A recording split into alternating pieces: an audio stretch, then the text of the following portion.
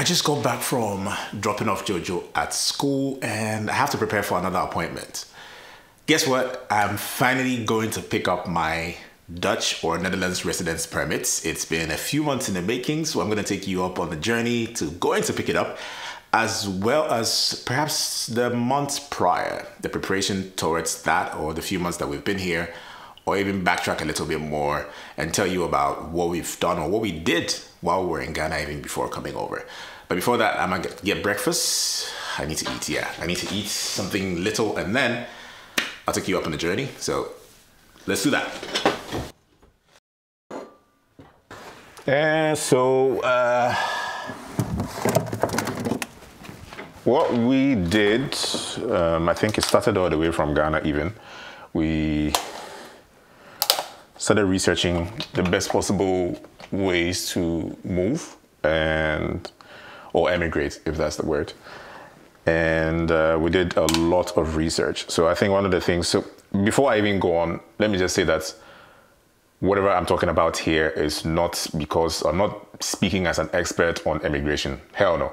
I'm talking about my experience in the last few months in getting to Netherlands and getting my uh, residence permit. So I'm in no way saying that your situation and mine or this is the way to go about anything, right? So we did a lot of research and came to the conclusion or two conclusions that um, oh my god okay there are two ways that we can um, come over and one of them was to use or to to do a family reunification which um, essentially is um, having your partner invite you over to the Netherlands and the second one is um, a not so popular one, but it's to go through. Um, if you have like a partner and you have a child together, you you are asking or you are asking to emigrate to be in the life of your son or to be part of the family. It's not the same as the family unification, strangely. So that's what we did, and we did a lot of research. But what we concluded on after these two things was that we asked around, and the best possible thing that we could have done was to actually get a lawyer involved. That is the best thing we did in getting this process to the point that it is now that today I'm going to pick up my um, residence permit.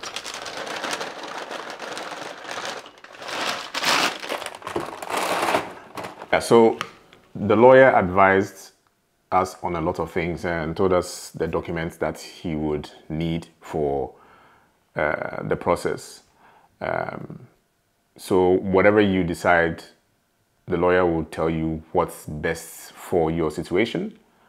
And so after doing your research and seeing how best possible you can emigrate or come to the Netherlands, sit out with your partner or alone, whatever the situation is will be different from mine. But if you can find help, is what I'm trying to say. Like the essential thing I'm saying is if you can find help, do get help.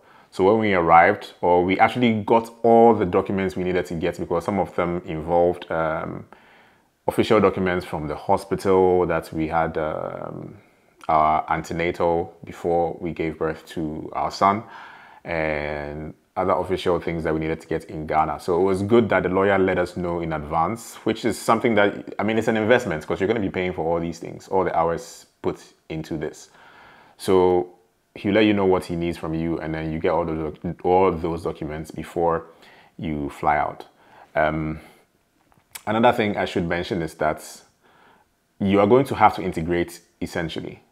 So one of the key things that you should remember, unless your country is not part of those countries that should uh, write the exam, you would have to write an exam in Ghana before leaving. So you have to book an appointment with the Dutch embassy. But even prior to that, you have to find a Dutch uh, tutor or teaching organization, or even if you can do it yourself, and learn because you'll be writing what they call the A1 exam, which is like your basic exam to enter the Netherlands, which is going to help you process that um, stay visa because the visa, which is called the MVV, is your stay visa, which you'll be able to stay beyond 90 days in the Netherlands. So that I think is a general thing I can say. It's not um, specific to my situation. Anybody who wants to come here, either through school or whatever it is, you will need your MVV. If you're coming through school, I think the admission is different.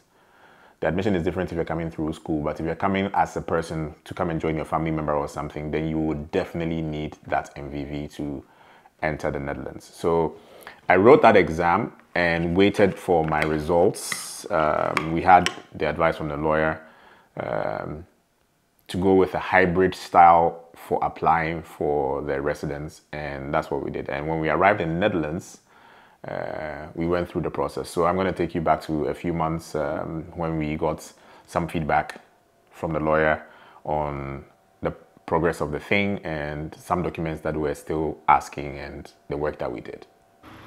It's interesting because I now I'm trying to capture all these documents and it's almost like we knew that we were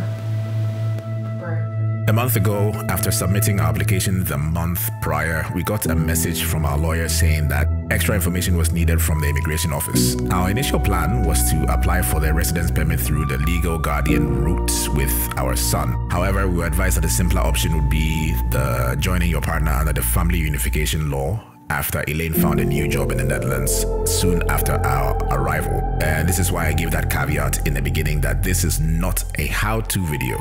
Immigration isn't a one size fits all because every situation can be different. And even after doing everything right, the prerogative is still with the IND to grant it or not. The takeaway from this video would be to seek help or some counsel, deliver everything you are asked, and manage your expectation and sit tight.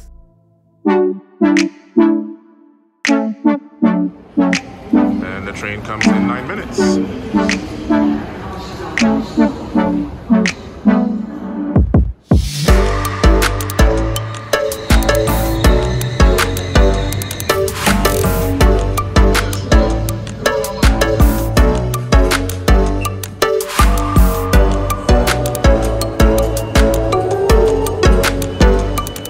I am almost there. I don't know if you see the sign there.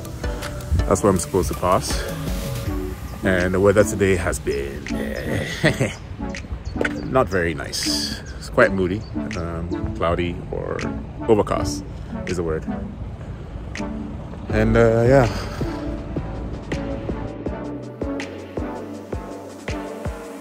so the weather got a little better, hence my sunglasses. And um, the process took about 15 minutes in total, including the waiting time. So it was actually really, really fast. And I'm happy about that. Went pretty smoothly. So, yes, I do have my residence permit now. The next thing we have to do is uh, getting my tax identification number, which is called the BSN. But yes, card here. And uh, yeah, we're gonna find our way to the station before the phone dies. Couldn't find a place to charge my phone in the meantime, so I had to be very frugal with my spending time on the phone. And uh, catch you on the flip side.